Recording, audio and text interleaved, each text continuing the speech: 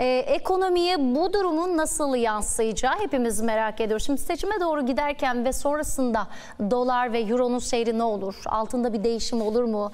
Ee, siz izleyicilerimizin merak ettiği soruları ayrıntılı bir şekilde konuşmak istiyoruz ve borsadaki e, hareketlilik nasıl olur? Aşağı yönlü mü, yukarı yönlü mü diye. Bunların hepsini konuşacağız. Konuğumuzu takdim edeyim. Siz onu çok yakından tanıyorsunuz. Piri Reis Üniversitesi öğretim üyesi Profesör Doktor Oral Erdoğan bizimle birlikte. Oral Hocam hoş geldiniz. Nasılsınız? Bulduk. İyi sabahlar, günaydın.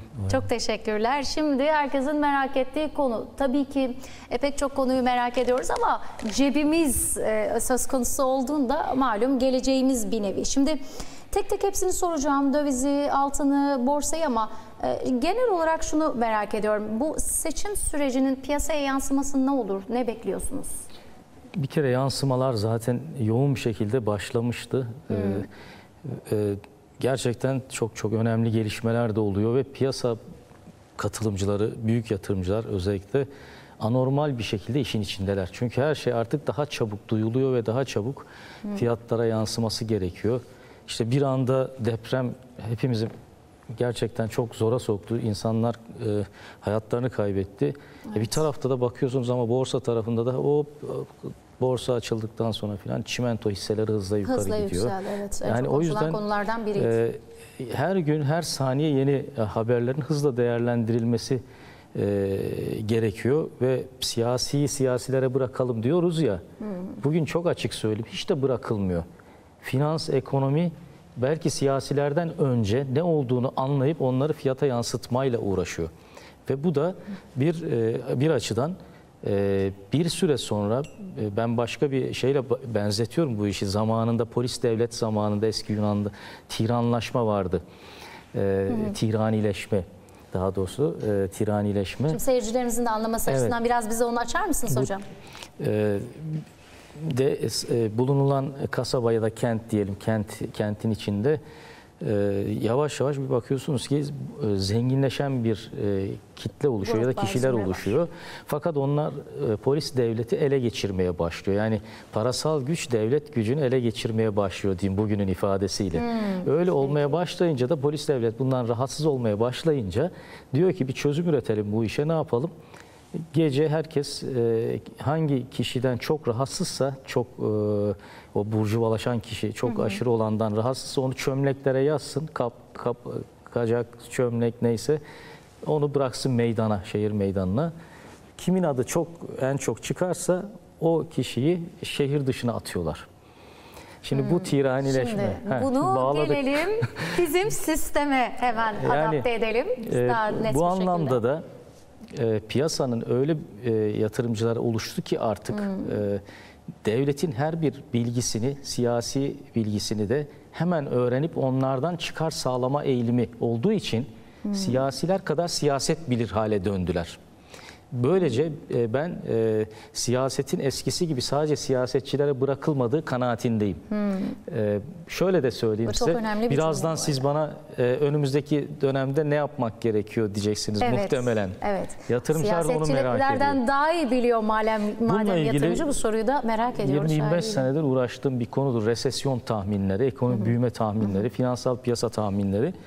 Şunu görüyorum, e, finansal piyasadaki fiyatlar madem e, hem makroda hem mikroda birçok bilgiyi yansıtmaya çalışıyor.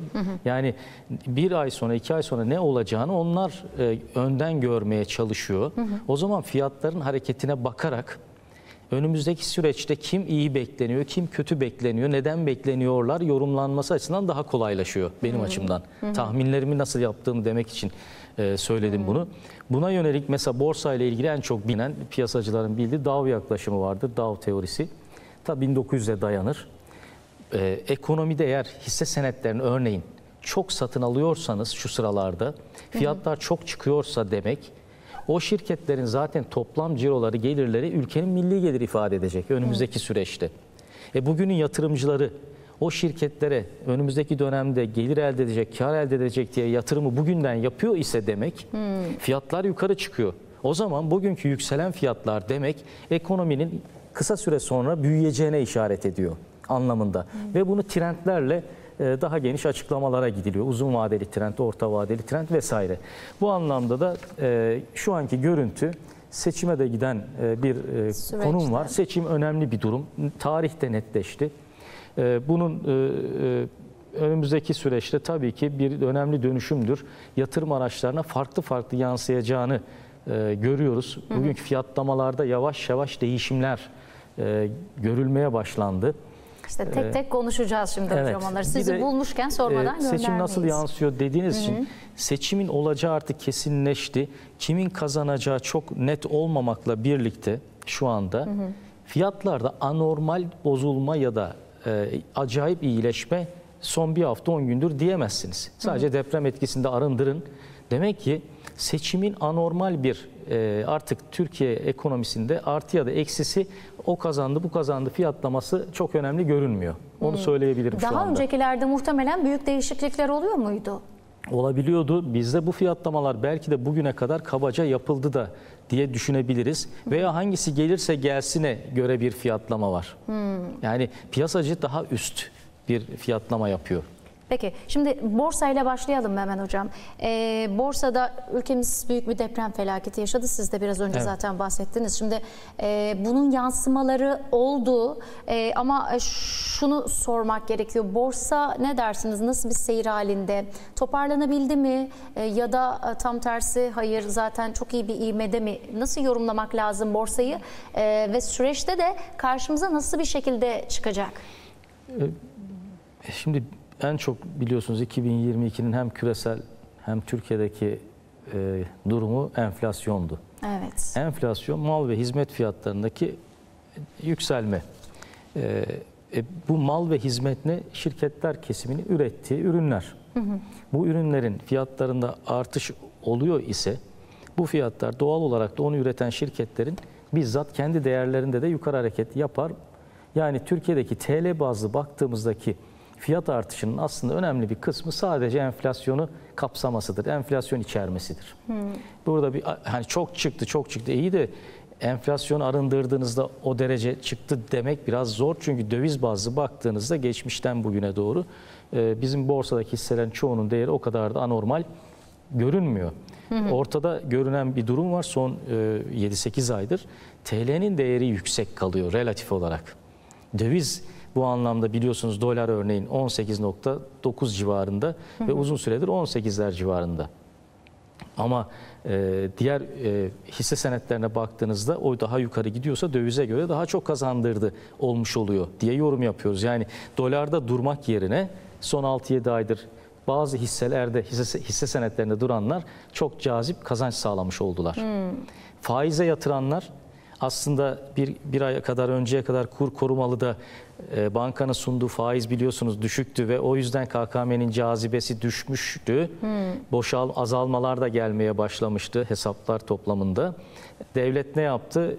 Üst sınır olan 3 puan kadar olan üst sınırı bankaların uyguladığı o 3 puanlık üst sınırı kaldırdı. Böylece bankalar mevduat faizini daha yüksek sunabilir hale döndü. Yani KKM'ye gelin biz size daha yüksek Faiz faiz, verelim. verebileceğize Bu döndü. şekilde de Mesela ben size teşvik söyleyeyim. etmek. Şu anda dün iki gün önce hesap açsalardı büyük bankalardan birisinde KKM hesabı açsanız %26 civarında veriyorlar. Yani %26'yı ben sana vereceğim diyor. E siz bunun altında kalırsa ne olacak? E şey e, doların TL'ye karşı değer kazanması eğer %26'nın yıllık bazda konuşuyoruz altında kalıyorsa e, siz 26 ile yetineceksiniz ama üstü olursa e, hazine e, devlet tarafı o farkı size karşılayacak Ödeyecek. olmuş oluyor. Ama mühim olan şu bakın. e, Merkez Bankası politika faizi olarak bankalara %8,5 ile para veriyor. Haftalık repo ile. Biz sanki bütün faizlere Merkez Bankası karar vermiş gibi konuşuyoruz ama %8,5 sadece çok net diyorum sadece bankalara verilen ucuz paradır. Mevduat faizi niye %26 o zaman bu ülkede? Burada bir sorun var. Bir e, tarafta 26,5 konuşuyoruz mevduat faizi. 3 aylık hem de 3 aylık faizler çok uzun vade değil ki. 3 aylık. Ama Merkez Bankası'na borç e, Merkez Bankası'ndan borç alan bankalar haftalık bazda 8,5'la alıyor. Bu faiz buralarda kalırsa demek. Yani 3 ay boyunca burada 8,5'ta kalırsa Merkez Bankası o parayı e, borç aldığı parayı Merkez Bankası'ndan borç aldığı parayı 3 aylığına gidip bireysellere kredi verebiliyor %30'da 35'le. Çok ciddi kar elde etme potansiyeli olmuş oluyor. Bankalar kar elde etmesin demiyoruz ama e, sistemde de burada bir e, bence bir bozukluk var. Peki şunu da merak ediyorum. Şimdi e, seçimi kadar bir e, borsa ne olacak? İkincisi seçim sonuçlarına görse, göre borsa e, nasıl karşımıza olabilir? çıkacak? Ne olabilir? Yani e, şimdi baktığımız zaman iki taraf Cumhur İttifakı ve Millet İttifakı görünen o ki bu yarışta biri önde götürecek bu bayrağı. Peki Cumhur İttifakı olursa ne olur? Millet İttifakı olursa olur? Yani bu değişim olursa bunun yansıması nasıl olur? Yoksa e, mevcut hükümetin devam etmesi süreci merak ediyoruz nasıl Çok merak ediyoruz da şimdi demin söylediklerimle bunu birlikte düşündüğümde Hı hı. e, endişe duyduğumuz nokta var. Ben A desem, A ile ilgili finans piyasaları şöyle olur desem veya B ile de şöyle olur desem, borsa fiyatlar, eğer ikisi arasında önemli bir pozitif negatif durumu ifade etmeye kalkarsam, sen siyaset mi yapıyorsun? Sorusu or- ortaya çıkabiliyor. Biz analiz yapmaya çalışıyoruz. Bak ne güzel, çok güzel diyorsunuz. Ben finans konuşmak istiyorum. Hı. Ama konuştuğunuzun sonucu sanki ötekini mi e, yorumluyorsun? Ama şimdi e, biraz önce dediniz ya siyaset ekonomiyi etkileyen Evet, bir aynen o. boyutta artık. Şu anda yani öyle. burada Bunu bir kere biz herkesin- siyaset konuşmuyoruz. Siyasetin aslında ekonomi üzerindeki yansımalarını konuşuyoruz. Ee, ben aynı öyle düşünüyorum. Yanlış yorumlayanlar Evet, lütfen yanlış e- sizi. ele almasın hı, diyorum. anlıyoruz. Bir O- kere e, şu andaki konum şu. Dolarda hafif hafif kıpırdanma var. Yukarı yönlü öncelikle. Altın küresel piyasalarda hafif yukarı hareketine e, devam ediyor. Ben sizle olan son bir yayınımızda bundan bahsetmiştim. Altın cazip görünüyor diye ki e, o şekilde ilerlediğini görüyorum son e, dönemde. Önümüzdeki dönem içinde vadeli fiyatlarını da dikkate aldığımda, uluslararası merkez bankalarının hareketlerini de dikkate aldığımda altın yönlü bir hareket var. Diğer tarafta Amerika Merkez Bankası'nın çok e, daha şahin dedikleri açıklamalarla birlikte hafif dolar yönlü eğilim de oluşmuş olması e, bir derece faizlerin acaba yüzde altılara doğru da çekilecek mi? Yani şu andaki seviyeden daha da hedeflenenin daha da üzerine mi götürülecek acaba? Eğer öyle oluyor gibi ise küresel anlamda Türkiye'de dahil birçok ülkeye sıcak para girişi daha da zorlaşacak. Daha birkaç ay. Şimdi bu böyle iken Türkiye'de borsanın normalde çıkmasının tek açıklayıcısı var. Oraya geliyorum. Seçime kadar da seçim sonrası da ona bağlı. Nedir o da e, politika faizinin çok düşük fonlamayla aynı anda e, bütün bankalara imkan yaratması ve diğer tarafta da devlet tahvilleri ve bonoları mecburen e, e, yükümlülükler e, makro ihtiyati tedbirler nedeniyle almaları sebebiyle hem tahvil tarafındaki faizler düşük seyrediyor aynı anda da faizlerin bu anlamda tahvil tarafında ve politika faizindekini kastediyorum. Mevduatla krediyi demiyorum. Peki. O ikisinin çok düşük olduğu bir atmosferde borsa yükselmeye devam eder. Peki.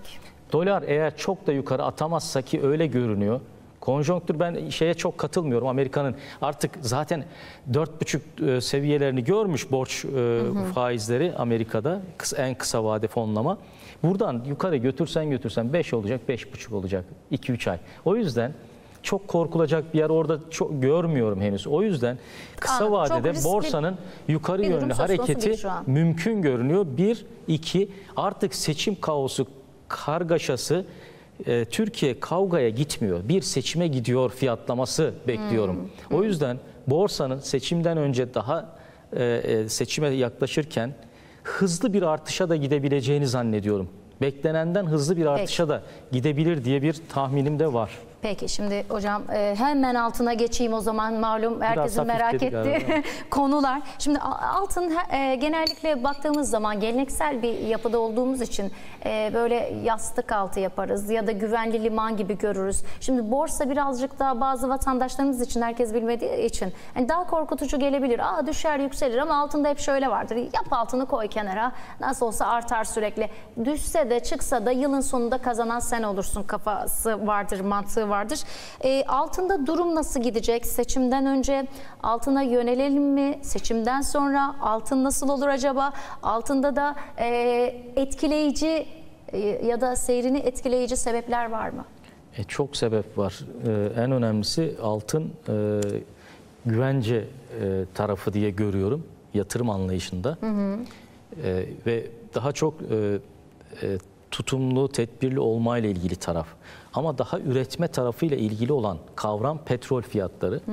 Altın e, petrole göre daha yüksek hareket ediyorsa e, genel olarak e, üretme yerine tedbirli olmanın eğiliminin arttığı bir yava, e, e, sistem geliyor demektir. Bu cümleyi bir daha tekrar Yani- edelim mi? yani- Önemli. Yani e, altın petrole göre biraz daha fazla hareket ediyor ise relatif altın cazip gibi ise fiyatlamalarda önümüzdeki süreçte önümüzdeki süreçte görüntü e, üretme yerine biraz daha tedbirli olalım e, anlayışını gösteriyor.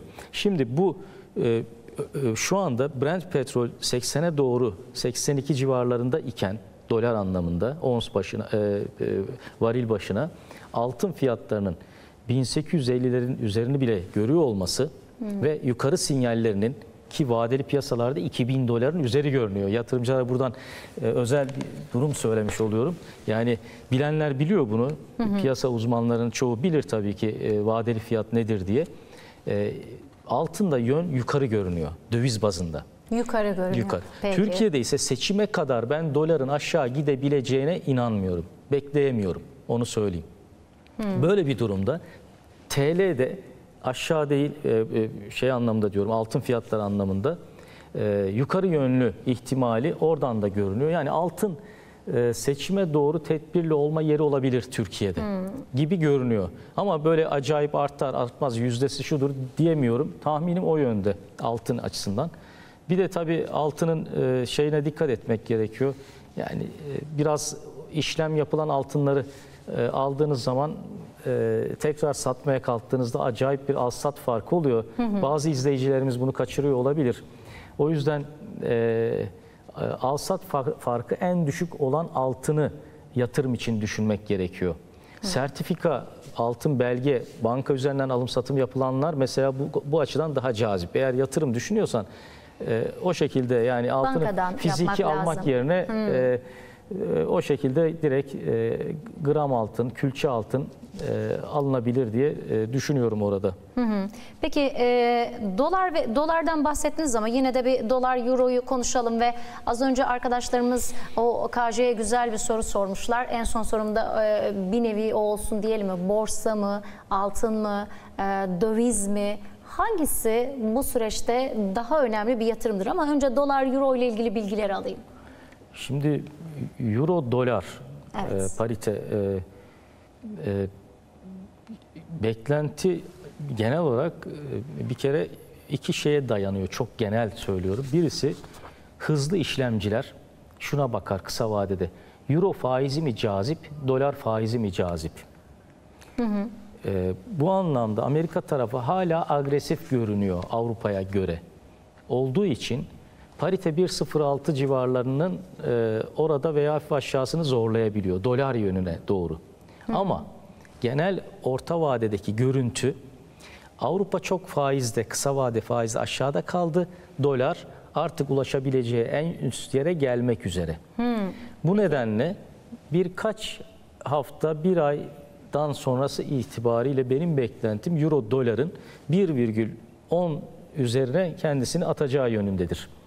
Ee, şu anki seviyesinin rahatlıkla üstüne gidebileceği yönünde bir tahminim var.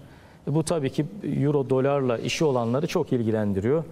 Ve biz de buradan ekranlardan onlara e, direkt kolay tahminler iletmiş oluyoruz. Evet gerçekten de öyle. Şimdi e, çünkü e, bu konularda belki bilgili olanlar vardır. Hayır biz bil- biliyoruz diyenler vardır ama e, sonuçta pek çok kişi de maalesef hangi e, yatırım aracını kullanacağını çok iyi bilmiyor. Peki son olarak şunu da merak ediyorum. Sizin buradan seyircilerimize tavsiyeleriniz nedir? Özellikle bu yatırım konularında riskli yatırımlara girmeli, girmeliler mi? Çünkü bizim ülkemizde de şöyle bir kavram var. Tamam altınla kaybetmezsin ama çok da kazanamazsın. Yani belli bir yere kadar gidebilirsin. Bu yüzden e, maalesef ülkemizde riskli yatır- yatırımlara yönelim daha fazla oluyor ki daha kısa sürede daha çok kazanma arzusuyla.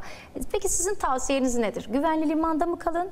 Yoksa m, farklı işte borsa Tabii kişiye gibi göre farklı- değişir bunlar. Kişilere göre değişir. Kişilerin risk tercihlerine, bütçelerine göre değişir. Ee, bazı e, çok önemli bir kitlemiz var. Ee, gelirini ancak tüketime yetiştirmeyle uğraşıyor. Evet. Ya siz oradan konuşuyorsunuz Oya Hanım hocam. e, Evet, biz doğru. paramızı hangi yatırıma neyle dönüştürüyoruz? E, biz yiyecek e, tarafını Evet, sıkıntı doğru, çekebiliyoruz diyebilir. E, onlar için de temennim e, en kısa sürede daha gelirleri yüksek seviyelere ulaşmasıdır.